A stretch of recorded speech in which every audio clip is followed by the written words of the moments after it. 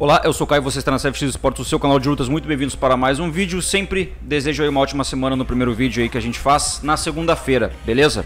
A gente vai assistir agora um compilado do que aconteceu no BKFC, que é o Bare Knuckles Fighting Championship, nada mais nada menos do que boxe sem luvas, sem nenhum tipo de proteção. Aqui eu sei que muita gente já está acostumada com este novo evento, ainda novo, mas tem muita gente que vai ser pego desprevenida e a gente vai conversar um pouquinho sobre isso, beleza? Deixa o like, se inscreve no canal, certifique-se que você ativou o sininho na opção todos para receber a notificação no celular ou até no computador. E no Insta tá rolando já treinos, spoilers, bastante coisa aí. Caio CFX, conto muito com você lá. Batemos 25 mil seguidores, agradeço muito. Estamos indo rumo a, a 30 mil. Conto muito com você lá. Então me siga, sinta-se em casa, será muito bem recebido, beleza? Vamos lá então, 3, 2, 1, play.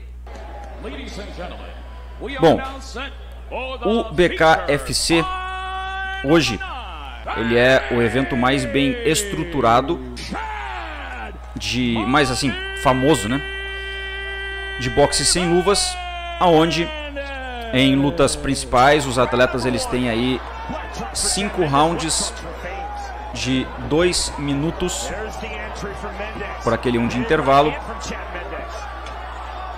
E esse aqui é o ex-UFC Chad Mendes contra o lutador aí da organização Fames.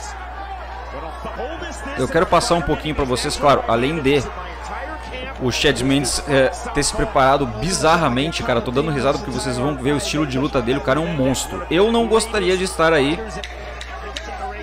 no boxe sem luvas contra o Chad Mendes, porque o bicho é um monstro. Tá, agora, Caio, o que, que é isso? O que, que foi essa tentativa de double leg, single leg? Não.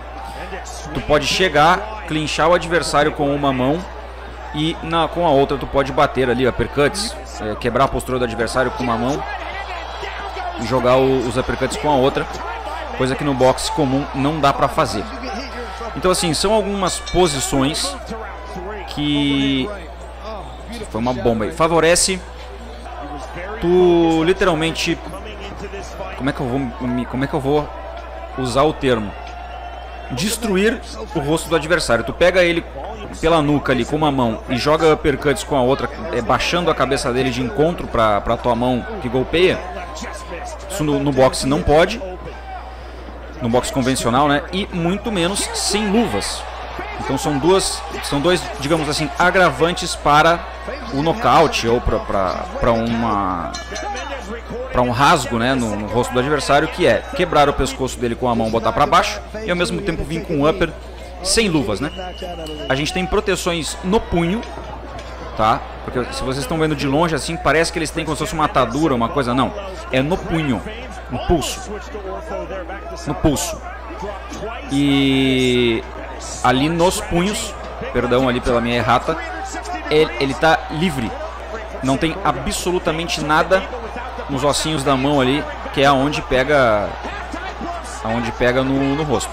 Ó, vocês viram ali como foi o que eu falei da, da mão ali que consegue segurar? Chad Mendes se preparou como um monstro para a organização, para esse tipo de luta. Na minha visão, ele nessa categoria aí é um dos caras a serem batidos, por mais que ele tenha estreado na modalidade com, com o nocaute. Tá muito bem preparado. Cara tá, o bicho tá um monstro, velho. Ele é mais futura estrela no BKFC do que no, no UFC, né, no MMA. E aqui a gente tem Mike Perry, outro ex-UFC, contra, é, acho que é Julian Lane.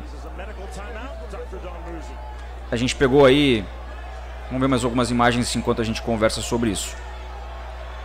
Depois a gente vai mostrar no final do vídeo como ficou o rosto de Mike Perry. Né? Basicamente os dois, né?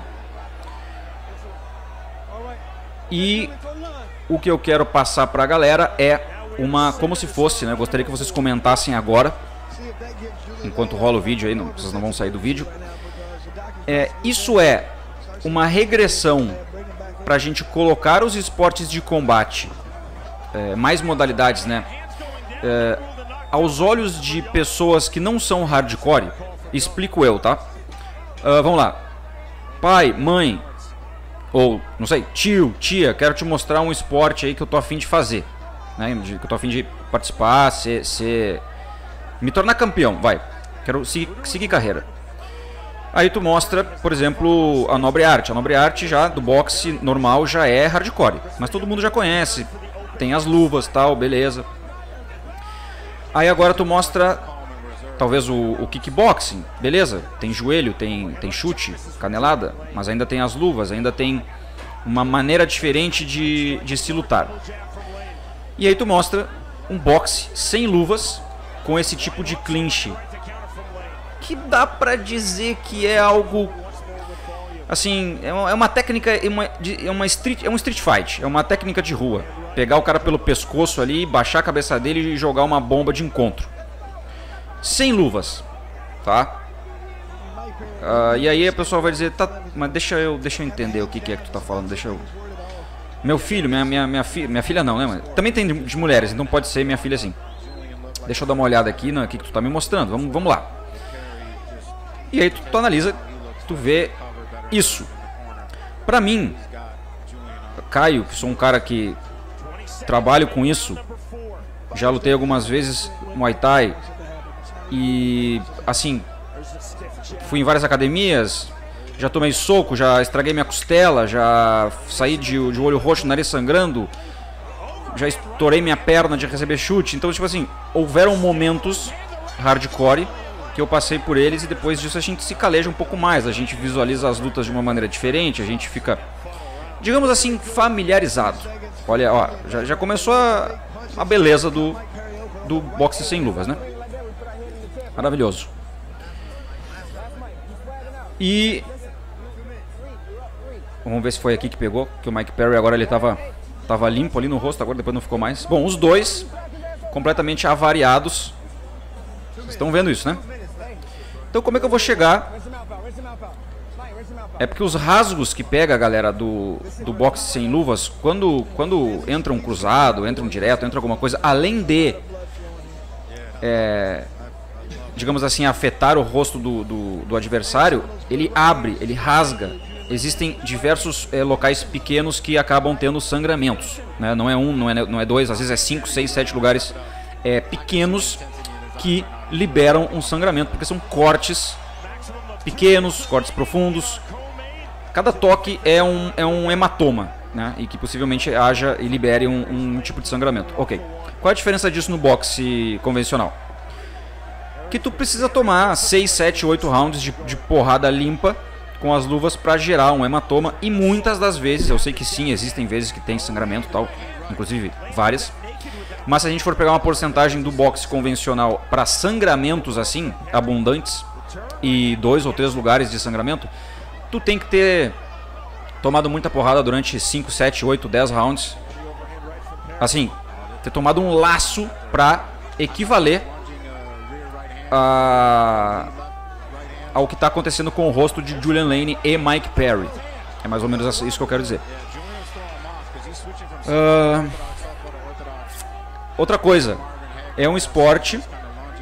Se vocês quiserem chamar de esporte, eu estou dando uma fazer uma enquete aqui. O que isso é esporte? Isso não é esporte. Olha, e também eu gostaria muito Agora que já, que já estamos chegando no final do vídeo, é uma coisa importante. Primeiro, eu agradeço pela sua audiência. Se você chegou até aqui, você é fodes. Né? Não vou falar o palavrão, mas você entendeu. E segundo, eu faço uma pergunta: quantos anos você tem? para eu saber a faixa etária que você está respondendo isso, porque depende da faixa etária, tem uma resposta é, diferente. Então, quantos anos você tem? Você acha que isso é esporte, sim ou não? Tenho 30 anos, para mim é esporte. Tenho 18 anos, não é esporte. Tenho 55 anos, é esporte. Pode botar qualquer faixa etária, obviamente, e é esporte ou não é esporte. Tá? Tô falando esporte de combate, não estou falando luta. Luta a gente está vendo que é. Olha como é que tá o calção do Julian Lane, por exemplo. É, uma, é um boxe. É quase umas regras de boxe de rua, né? Porque a regra do boxe de rua, tu não pode largar o cara no chão. Aí tu tá. Aí vale tudo. Mas dois cujos ditos homens, né? Ou cujas ditas mulheres, se fossem fazer essa regra até inclusive na rua, seria isso, homem. Vamos largar na mão no, na, na, largar na porrada aqui na rua no boxe. Não, beleza, respeito. Então fechou. É isso. Não vai mudar muita coisa. Vai mudar o preparo físico, vai mudar os, a swingada muito louca tal, mas sem proteção. É, claro, não teria o, o protetor bucal, né? Então assim, eu estou abrindo essa enquete porque as mãos, principalmente as mãos dos lutadores, como vocês estão vendo é, o Mike Perry aí mostrar, essa, é, isso aqui é um, é um esporte de curta, de curta duração, né? Um esporte de carreira muito curta. Quando o cara, vamos supor, o cara começa no boxe sem luvas e termina a carreira dele do boxe sem luvas. Bom, ele vai carregar na vida dele cicatrizes muito bonitas, a não ser que ele seja exímio né, na arte, que tem como ser, mas é muito difícil. E as mãozinhas dele não tem como fugir. Por quê? Porque ou tu vence lutas, tu conecta bons golpes e tu nocauteia os caras, né? Ou tu vence por pontos, mas aqui é osso com osso. Na cabeça, na testa, na lateral aqui, tudo osso, osso com osso. Dente, por mais que tenha protetor, é bem sólido. Tudo que tá tudo sólido aqui. Então a mãozinha não tem duração, muito possível aí acabe a, a curto prazo, a curto prazo estragando a estrutura óssea, cotovelo para cima. E talvez acarretando outras coisas ali, talvez a gente não sabe ainda porque o, o esporte ele ainda é um pouco recente, então a gente não tem caras de carreira do boxe sem luvas.